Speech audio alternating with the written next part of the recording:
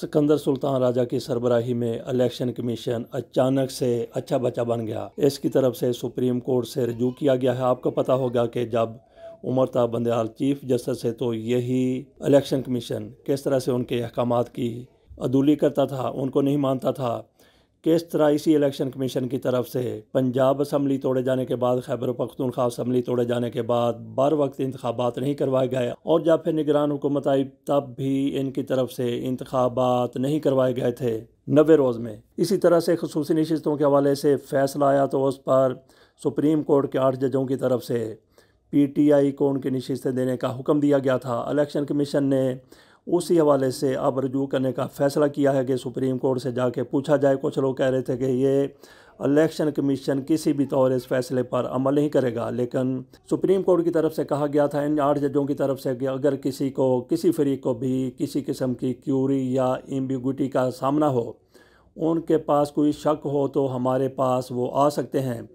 تو ان کو پتہ ہے الیکشن کمیشن کو کہ یہ عمرتا بندیال نہیں ہے، جو ان کا آخری دو تین مارے گئے تھے۔ ان کے احکامات کی بجا آوری نہیں کی جا رہی تھی۔ ان کے احکامات کو نہیں مانا جا رہا تھا، لیکن یہ آٹھ جائی صاحبان میں سے پانچ ایسے ہیں جنہوں نے پاکستان کا چیف جسر بنا ہے، جنہوں نے یہ فیصلہ دیا ہے۔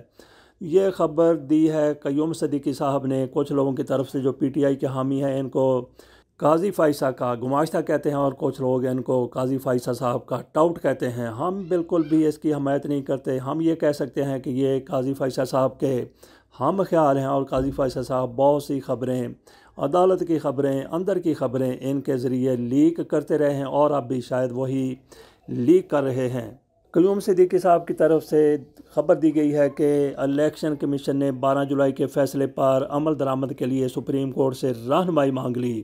الیکشن کمیشن نے اکتالیس ارکان کے معاملے پر سپریم کورٹ سے رجوع کر لیا رجسٹرار سپریم کورٹ کو فیصلے پر وضاحت کی درخواست جمع کروا دی گئی۔ یہ قیوم صدیقی صاحب کی طرف سے کہا گیا ہے۔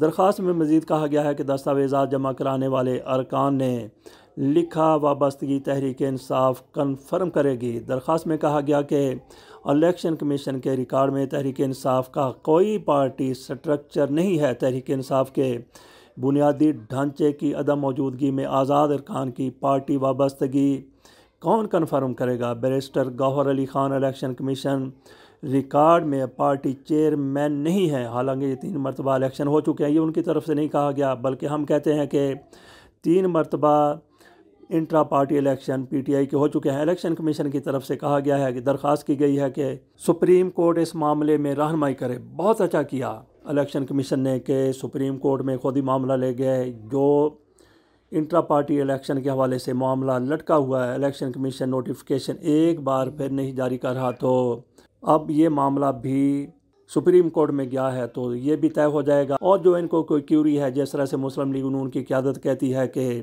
جو کچھ مانگا بھی نہیں گیا تھا، وہ بھی دے دیا گیا اور آئین میں ترمیم کر دی گئی۔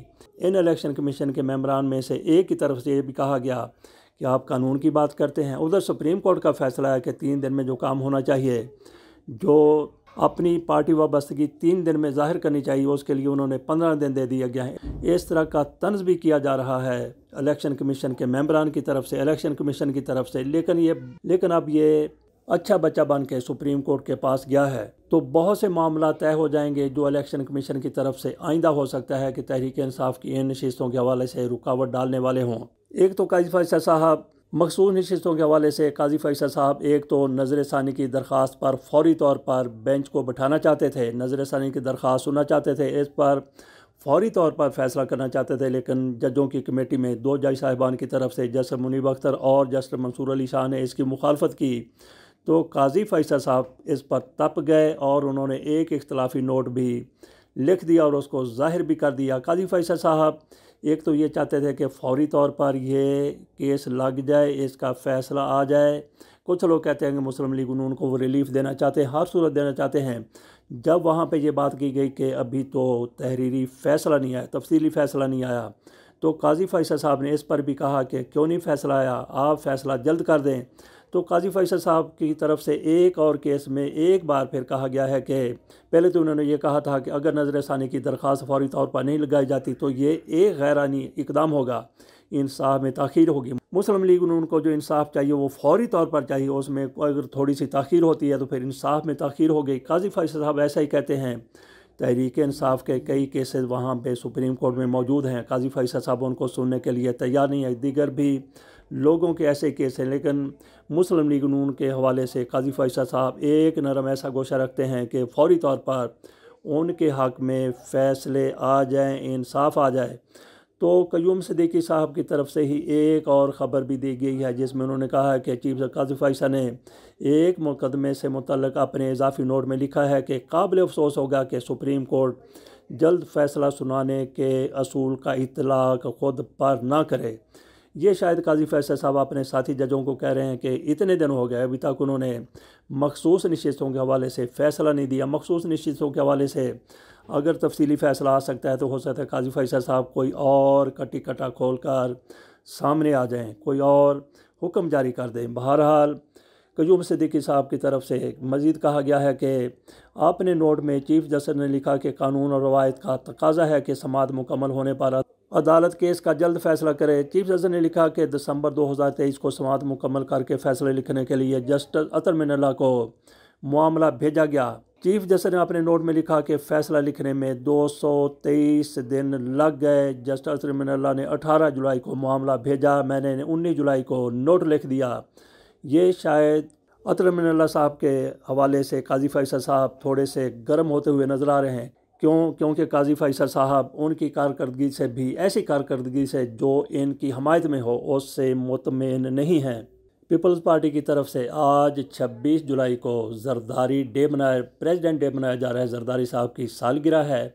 تو اس کو پیپلز پارٹی کے خوش آمدیوں کی طرف سے جو کاسا لیس ہیں، جو حاشیہ بردار ہیں، ان کی طرف سے کہا گیا ہے کہ یہ پریزیڈنٹ ڈے کے طور پر پورے پاکستان میں منایا جائے گا۔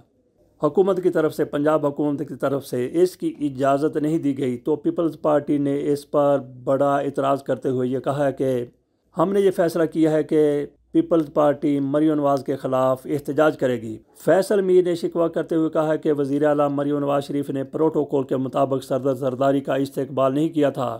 لاہور پریس کلب میں کانفرنس کرتے ہوئے انہوں نے کہا کہ پیپلز پارٹی نے آصف علی زرداری کی سالگرہ کو یوم پریزیڈنٹ کے طور پر منانے کا فیصلہ کیا ہے۔ پیپلز پارٹی نے انتظامیہ سے آزادی چوک میں تقریب کی اجازت مانگی، مگر ابھی تک اجازت نہیں دی گئی۔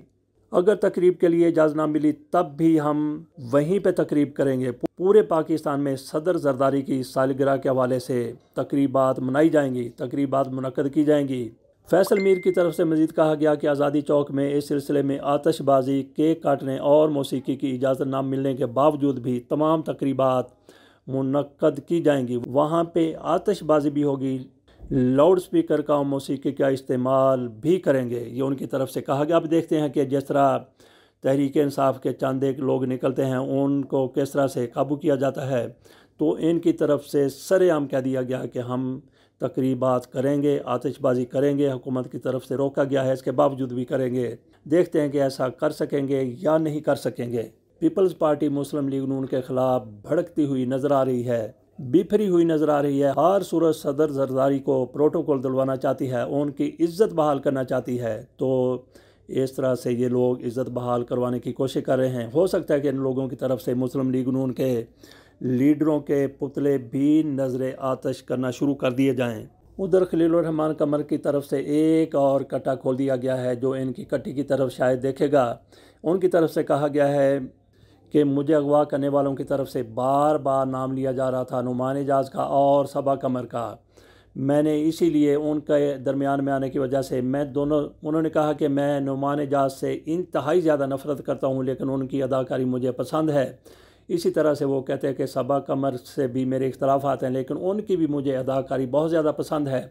تو میں نہیں چاہتا تھا کہ ان کے نام بھی اس میں آئیں، اس لیے میں نے پھر پرچہ اپنا دیر سے، تاخیر سے درج کروایا۔ یہ خلیل الرحمان قمر کی طرف سے کہا گیا ہے۔ ہر روز ایک نئی بات لے کر یہ سامنے آتے ہیں۔ شاید ان کو چسکا لگ گیا ہے میڈیا میں رہنے کا۔ خواب میڈیا سے جوتے پڑیں، عزت ہو یا عزت نہ ہو۔ شہباز شریف کے چار وزراء کی طرف سے پرچم کی حرمت کے حوالے سے مہم چلانے کا اعلان کیا گیا ہے۔ جرمنی میں جس طرح سے افغانستان سے تعلق رکھنے والے کچھ لوگوں کی طرف سے، پاکستان کے قومی پرچم کی توہین کرنے کی کوشش کی گئی تھی۔ اس پر کابینہ کے ارکان کی طرف سے شدید اس طرح کا رد عمل ظاہر کیا گیا ہے۔